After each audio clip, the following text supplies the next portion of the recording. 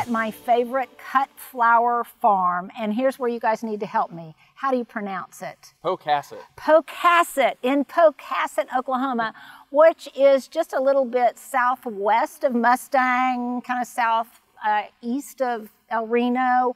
And anyhow, this is so much fun. And for those of you who have followed me for a while on my channel, you may remember a video that we did way back when on Simple Acre Farm when these guys were at a different location.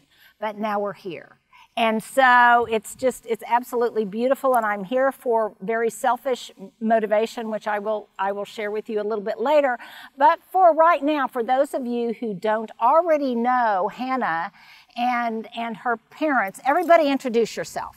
So I'm Joel Davenport. Hannah. I'm Kristen. And this is Eli. He's and, and this is Eli. And you guys have been in this new location for?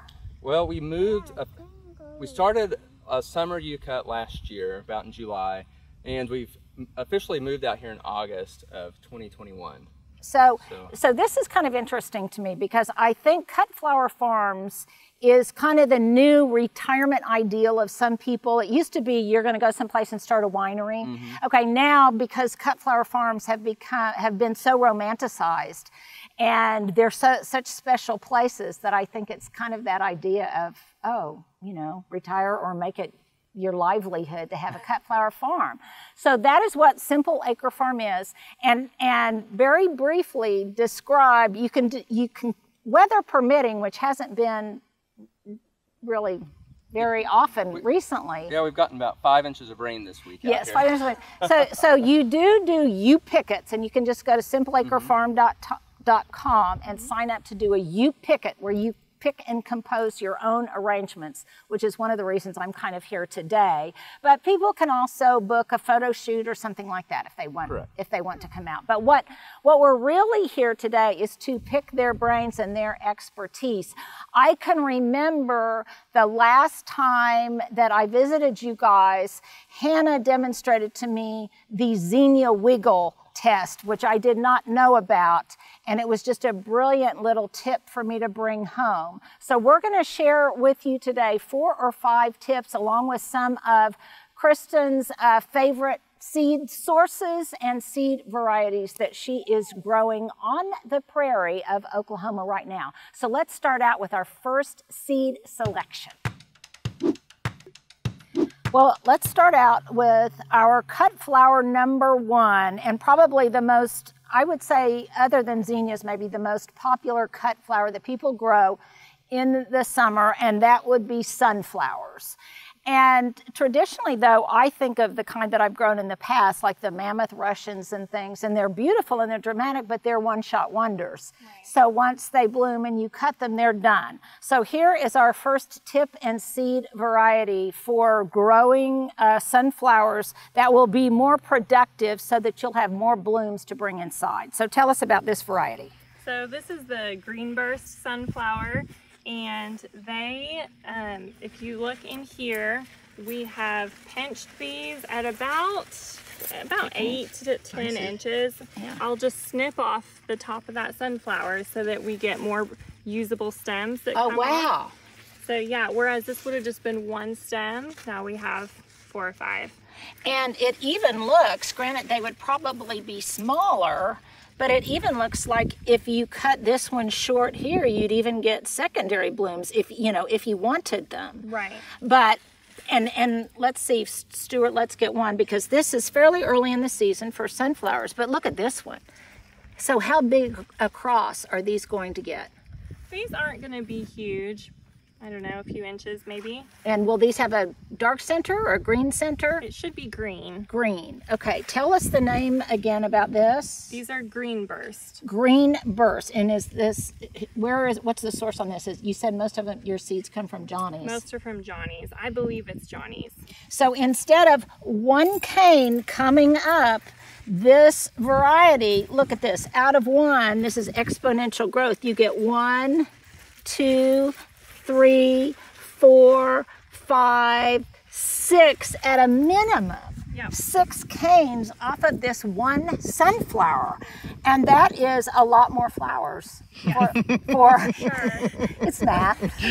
a lot more for your space and for the money that you're putting into it. The other thing is, Hannah, by making it branch, don't you think then that when they're kind of cuddled together like this, that one plant would support the other plant so when it rains they wouldn't flop over?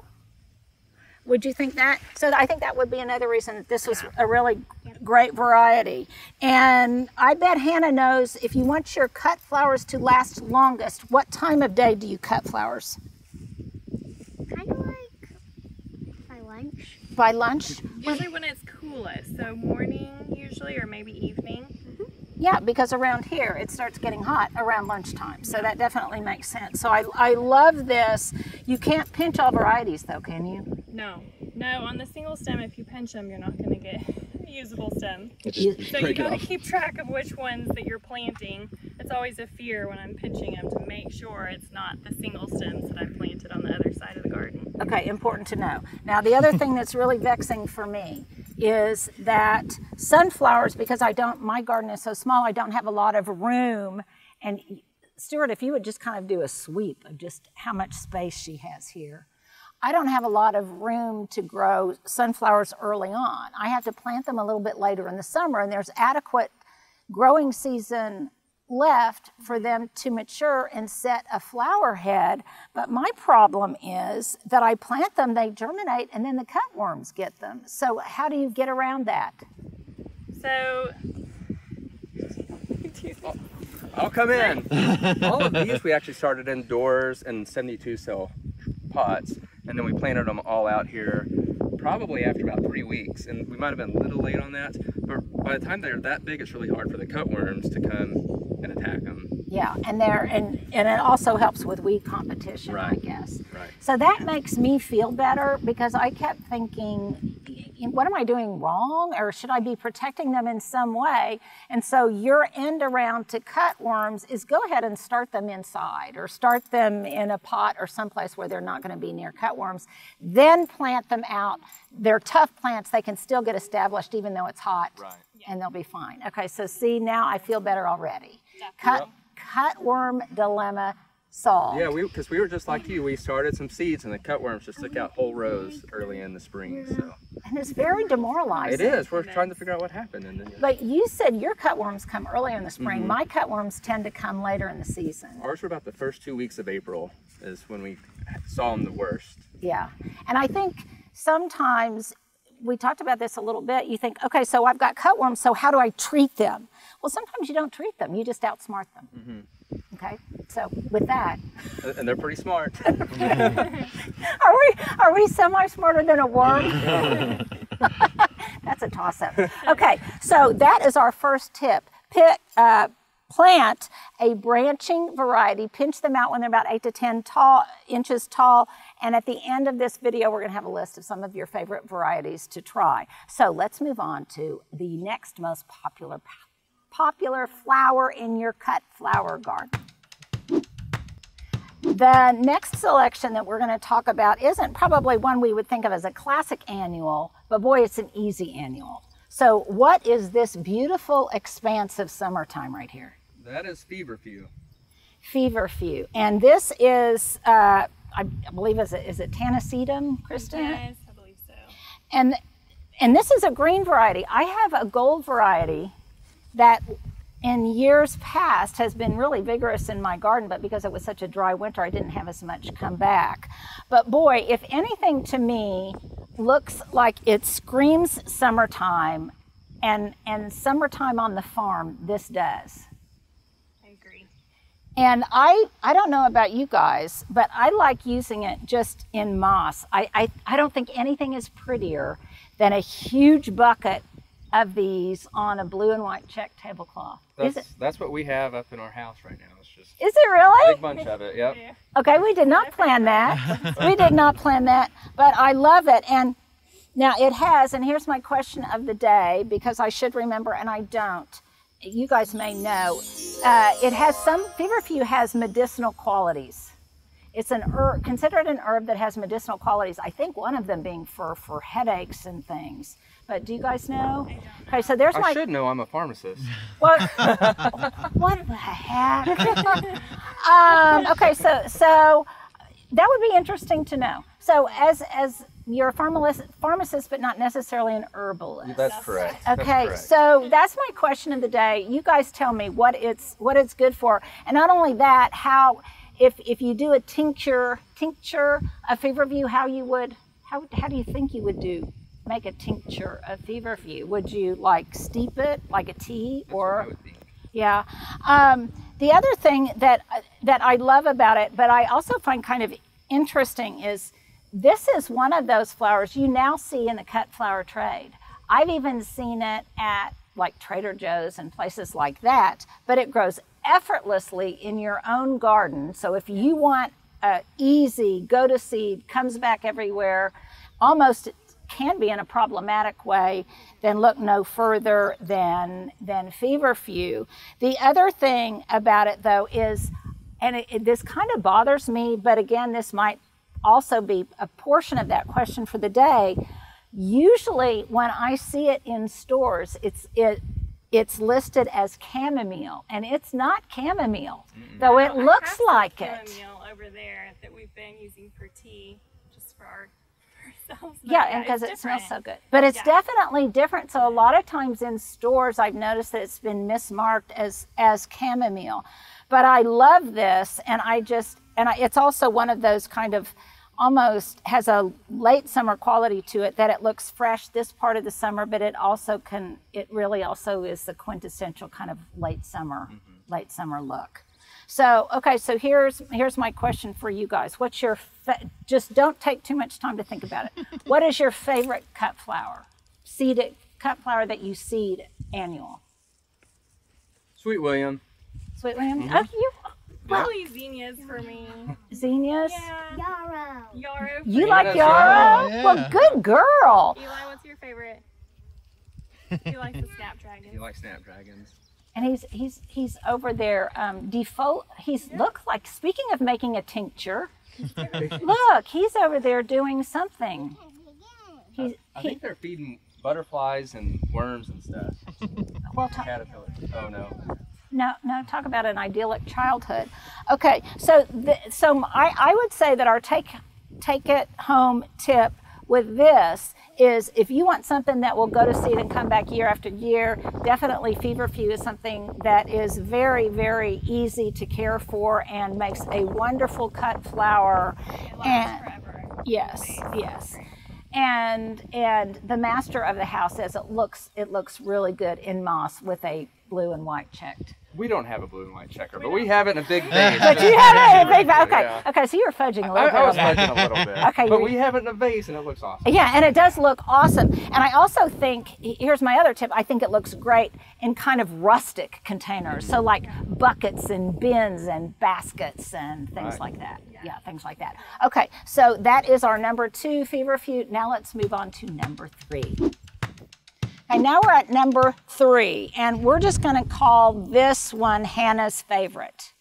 So explain to us, Hannah, what this row is. Yarrow. It's It- yarrow. yarrow okay and is it's what's is it called achillea or achillea or Yes. however you pronounce that now let's ask why why is this your favorite flower Because I like them in full bloom and the colors. And the colors so if you were going to cut a bouquet would you like to cut some like these that were all in full bloom or, or do you like to mix some of the buds in with them or, or what is your preference when you're cutting a bouquet Just the full bloom. You like just the full bloom.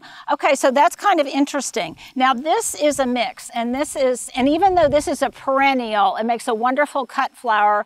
And um, Hannah, so do you know the, the difference between a perennial and an annual? Okay, a perennial is a flower that comes back every year. You don't have to keep replanting it. But an annual, like the sunflowers and things, every year you have to plant new seed. This, you may also like this because it's kind of more magical because it just comes back on its own.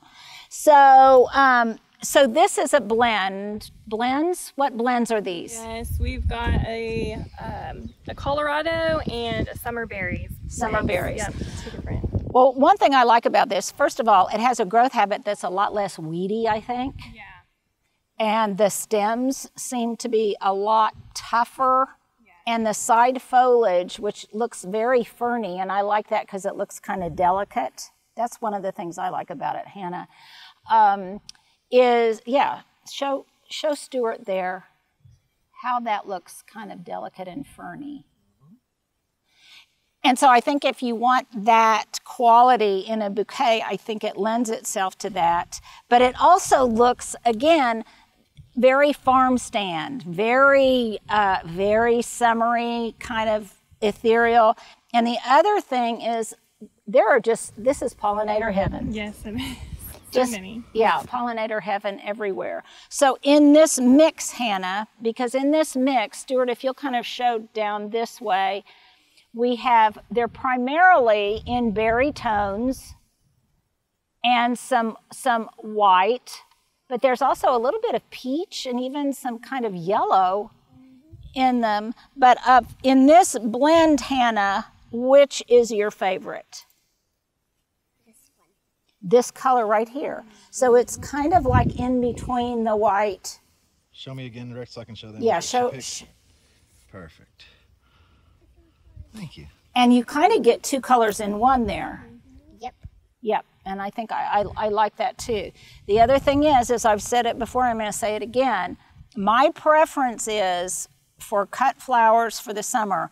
I, I do not a lot of mixed bouquets. I really like just one gorgeous swoop of one gorgeous type of flower like Hannah's yarrow that I can put in a container.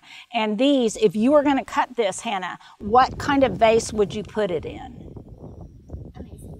You'd put it in a mason jar. So that's she yeah, because that's just that's classic summertime, isn't it?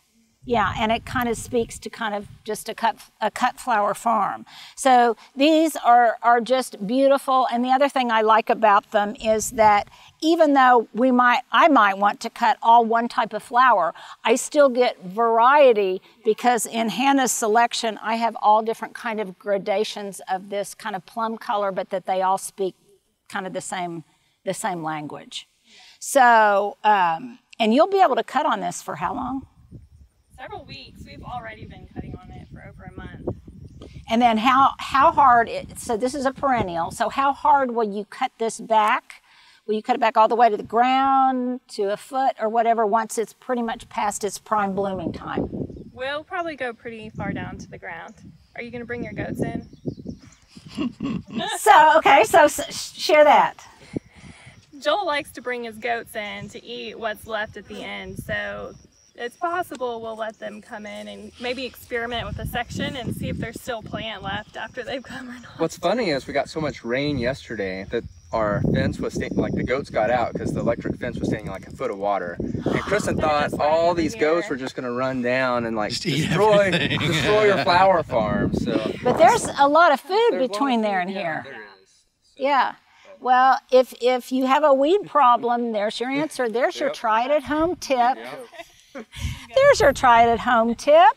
Um, get a goat, and and Hannah would suggest if you're going to try a cut flower, grow Yarrow.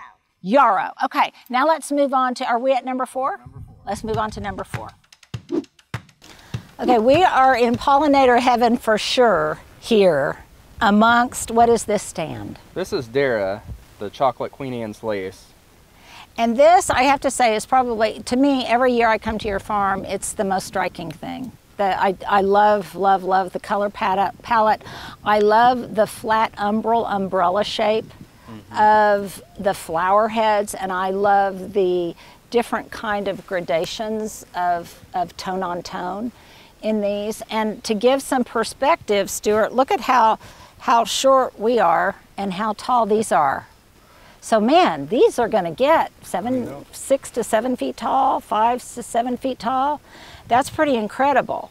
And they love the heat, don't they? They, they do. They'll just keep on coming, and the, we won't be able to keep up cutting them fast enough. Really? Uh huh. Well, I mean, look at it. yeah, yeah, yeah, there's a ton. Sarah, can you give the long view of that? And I, there's, it's, it's so interesting because in their varying shades of flower development, it's like a completely different, a completely different flower head. So like, look at this one over here. I don't know if you can show that one. Look at that it. fluffy one right there. Can you see it? I mean, that looks just completely different than the rest of these two, but they have that tall stem, ethereal kind of, you can almost kind of see through the stems. Mm-hmm. And I love them. So, will these, will you let these go to seed? These are some of our easiest ones that go to seed. So in the past, I don't know if we'll do it this year, but we'll actually come mow it down. We'll even till it up a little bit, plant sunflowers in here. And by the time we harvest the sunflowers, these have already germinated. And then we can just mow over the sunflowers and then here these come back coming strong because they'll actually overwinter really well. Okay, that is brilliant succession planting. Now these are tall, and even though the stems are sturdy, because you're growing, you know, your entire flower farm is growing with with pretty much nonstop sun. Right. Um, but I see under here that you do have a support system, and this support system consists of what do we have here? It's just a Hortonova net. I think it's about oh, three feet, and we just, you know, when, before they started flowering, we tried to support them. So especially with our winds that have been 70 miles per hour, it keeps them from Right. blowing all over. Well, and, and not just that, but the real heavy rains. Real that's, heavy rains, That's too, done yeah. some damage. And, and we just put these, oh, they're just kind of cheap uh, electric fence posts Okay. that kind of their support. So do you? So before these are tall at all, the, tall at all. This would be our take it home tip. When they're still very short, when they're just growing up, that's. Right. when you put Right, the support on. Like about a foot tall, give or take. Yeah, because uh, one thing I did as a novice gardener was I would grow stuff, and then of course it would fall over, and then I'd try to stake it. Right, well, of course that yeah, it's it's too late. So here is here's my thing. Um, I I love, and this is the kind of thing I can't get at a florist. I can't get anywhere but at a cut flower farm like yours. So I'm going to start. I think on on a weekly basis. I'm going to just get a subscription with you guys. And, and I will just pay you, and every week you can tell me what is best in bloom, or I can, I guess, if you've got it in bloom, I can, I can select what I want. And on Thursdays, I'm just going to have you guys bring it to your door. bring it to my door of, of just two huge or three huge, however many I've got, depending on what I'm doing, huge buckets of farm fresh flowers because I, I just love the drama of, and it's, it's also kind of trendy right now mm-hmm. that you probably have experienced that in working with some of your customers that they want great big bunches of, of one kind of flower Right. Statement making flowers. And this is definitely one of them that I, I want to bring home just a huge, huge cut flower bucket. And I don't know if, if, uh, if you guys are, are, is, you're doing this especially for me, or is this maybe some service you might offer in the I future? think it's something we might try offering this fall.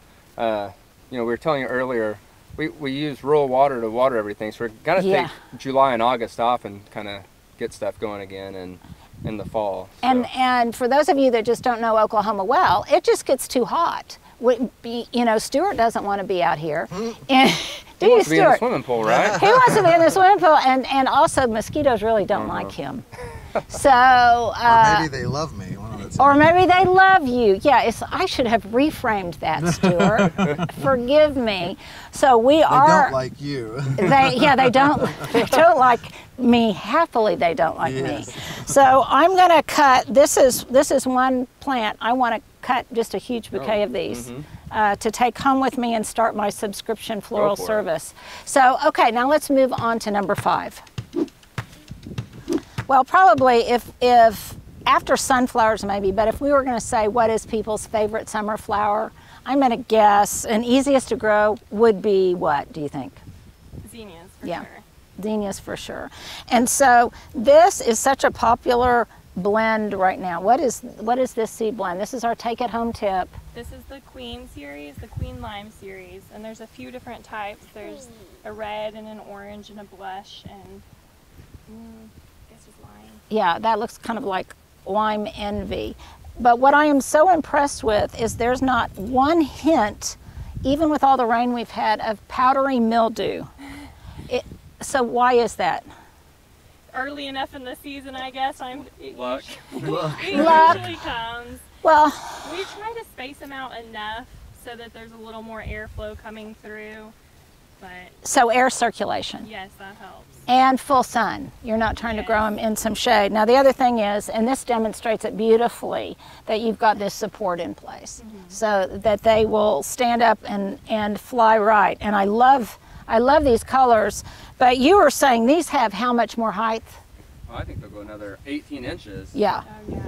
So they're just getting started, and I would think actually they'd be farther along, except for we haven't had as much sun because it's been so rainy. Right. So here, here is another take it home, try it at home tip.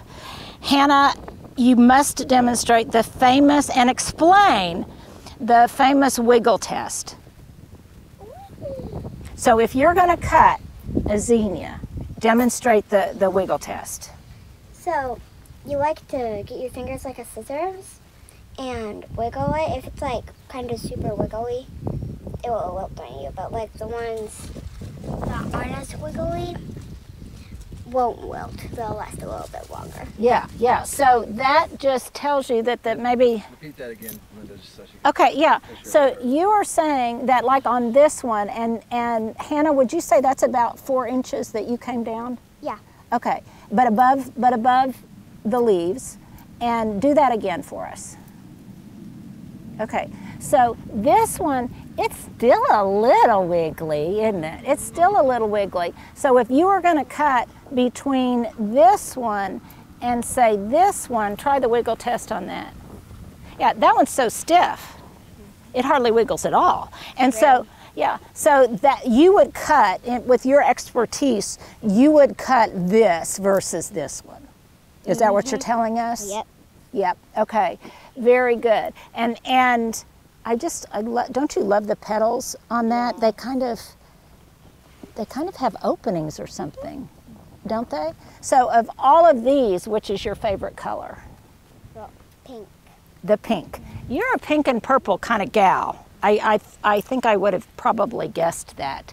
So the other thing about this is, will you guys do succession planting once this is harvested, or will you even need to? So we, we kind of did these first two rows we did at the same time and then this one that's not blooming was how, how much further? Maybe three weeks later. So that is probably the only successions we'll do, but these will last several weeks and we can cut, we can just keep cutting on them for weeks. And over in the distance, I see some bee balm, I see some rudbeckia. Mm-hmm. And what I like about your sunflowers is you have some that is dark in the center and some that's light in the center. You have all sorts of different varieties because people are very particular Yes. about their sunflowers, They are. aren't they? We're trying out some reds and plums this year too, so excited to see how they do. If the, only there was a pink sunflower. I know. I want a pink sunflower. Well, you're going to have to be a plant breeder then. I think she will she will be the first person to to breed a maybe a pink sunflower. You think? Um, okay, so those are our five, some of our favorite summer flowers with some take it home tips. And then I'm going to wrap up just showing some other ones that I think of more as kind of late spring flowers that you also have, and some of which I may be wanting you to save me some seed for. Got it. So, thank you, thank you so much, Hannah. You you truly are a, a cut flower farmer. Will you have? Hard. She does work hard. Can we come back? Uh huh. Will you have some more tips for us? Probably. Probably.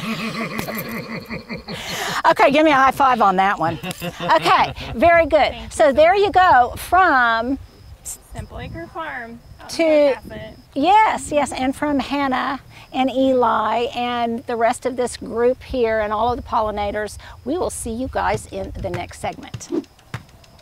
Well, my outfit of the day is kind of a garden safari look, I guess. My earrings are from Madewell. Love these earrings. My top is from Forever 21. My belt is Banana Republic. Uh, my skirt is, uh, boy, I've had this skirt for years. The skirt is from, I think it's from Target. Um, my boots, which are all scuffed up and old, I've also had for years. These are from Sundance. My bracelet bracelets are just an assortment of, of fun African glass beads and actually a couple of friendship bracelets. Stuart and I decided to exchange friendship bracelets. So we have some that are kind of similar and then just a variety of bangles. Um, Stuart, have I forgotten anything? Oh, my coffee cup is from my darling friend Jan at Hungry Holler. She makes these and every time I drink out of it, it's my very favorite coffee cup, I think of Jan. So there you go, there's your outfit of the day.